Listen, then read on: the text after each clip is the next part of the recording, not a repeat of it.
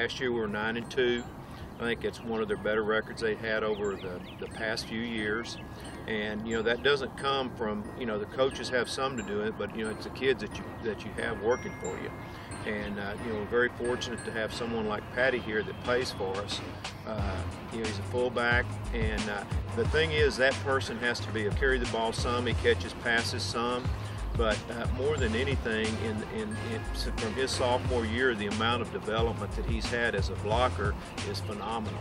Uh, just you know, very sound at what he does. You know, just really proud of him and what he's accomplished.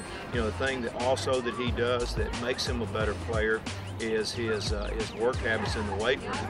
Uh, you know, you're only so good out here on the field, and the things that you do outside of the football field is what's going to make you a difference as far as being a very good football player.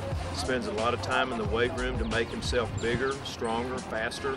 And uh, so he's doing his part to, to help us win as a team, and he's also doing his part to give him an opportunity to play at the second level. And I think that's something that he probably wants to do. So, uh, you know, as far as the kid, he's, he's, he's a great kid character-wise. Uh, you know, he hasn't really gotten in trouble at the school, and I think that's something when you look at a, at a young man to take, go to the next level or to play for you, you want that person that's going to represent the school in its best interest, and I think this young man does it for us at Antonian.